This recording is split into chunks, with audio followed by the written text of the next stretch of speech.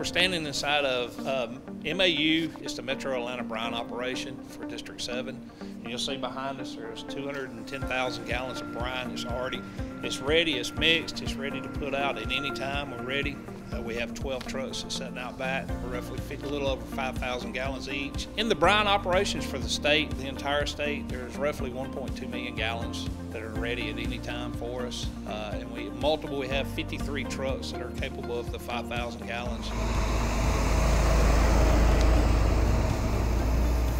At the beginning of the event, we'll have around a 12 to a 24 hour window. We will come out, fill trucks. We'll fill 12 trucks here in Metro Atlanta, as well as District 1 and District, uh, well, all the districts, depending on where the event's coming to.